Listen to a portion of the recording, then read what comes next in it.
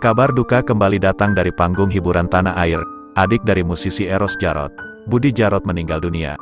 Informasi ini disampaikan Fajrul Rahman, juru bicara presiden melalui kicauannya di Twitter. Mantan aktivis ini mendapat kabar tersebut secara langsung dari Eros Jarot. Inalilahi, barusan dapat kabar dari Mas Ed Eros Jarot 40 atas wafatnya Mas Budi Jarot. Tulis Fajrul Rahman. Minggu, tanggal 27 Juni tahun 2021. Dalam pesannya, Eros Jarot menyampaikan, Mas Budi sudah pergi. Terima kasih buat segala bantuan dan perhatiannya. Melalui pesan tersebut, Fajrul Rahman turut memberikan doa untuk almarhum Budi Jarot yang kini telah berpulang.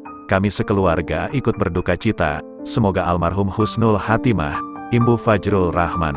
Doa juga hadir dari segelintir warganet yang melihat kicauan Fajrul Rahman, Innalillahi wa inna ilaihi rajiun. Semoga Mas Budi Husnul Hatimah.